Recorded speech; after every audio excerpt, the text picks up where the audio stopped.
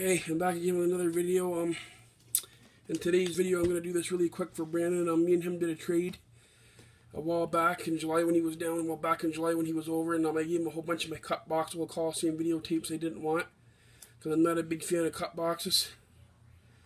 And um, he traded me, gave me a bunch of DVDs that he picked up at a flea market. We did a trade, and um, he sent me these, and I gave him, gave him a bunch of cut boxes because I'm not really a big cut box guy. So um, here's the ones he sent me. So I got two copies of the Great American Bash 04. Good pay-per-view. Really like that one.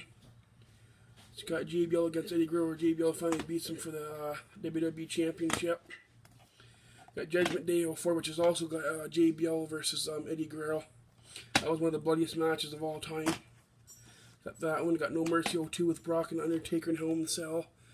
And also, um, got Triple H versus Kane winner takes all Intercontinental Champion versus uh, World Heavyweight Champion. That's a good pay per view. Got Unforgiven 2002, Rock and Undertaker. That was before Hell in the Cell. That's when Undertaker, I think, throws him through the um, like through the uh, the stage up at the stage to the Unforgiven sign or whatever at the end of the match. I'm pretty sure like he just throws him right through the wall or whatever at that one. I'm pretty sure that's the same one. But yeah, this is a pretty good pay per view as well. This is the big one. This is my favorite one that I got. It was No Mercy 2001 because this is an old WWF. It's very hard to come across the old WWF scratch logo ones now, like for a good price. And uh, this one's this one's got some good stuff on, like Rock versus Chris Jericho WWCW Championship, Stone Cold versus Rob Van Dam, Kurt Angle triple threat match for the WWF Championship. Um, it's got that lingerie match between Tori and Stacy, which was really good. Really good. I remember that one. Um, ladder match Christian versus Edge. So this just got some good stuff on it. So I can't wait to get around to watching that one again. I seen it back the pay back when it came out, but I haven't seen it in like since forever.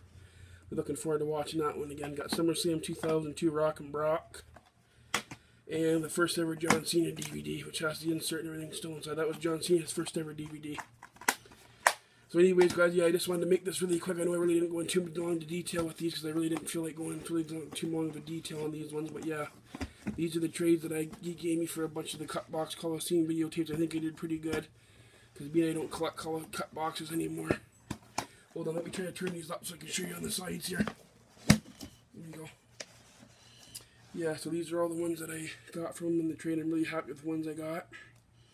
And he got a bunch of um, cut box Coliseum videotapes that he wanted, some more pay-per-views and stuff like Survivor Series and Summer Slams and whole bunch of cut ones. I think I even threw a couple of clamshell ones, but they're kind of not in the best condition. But Brandon didn't care. I gave him like TNT show and um, I think another one inside the steel cage or something. The cases are a little bit beat up, but Brandon was happy to get them. So anyways, guys, I'm going to end this video. So this was just a quick video of this my first video I'm going to do today. I've shown my WWF slash WWE DVDs I did my trade with Brandon. And I'm out.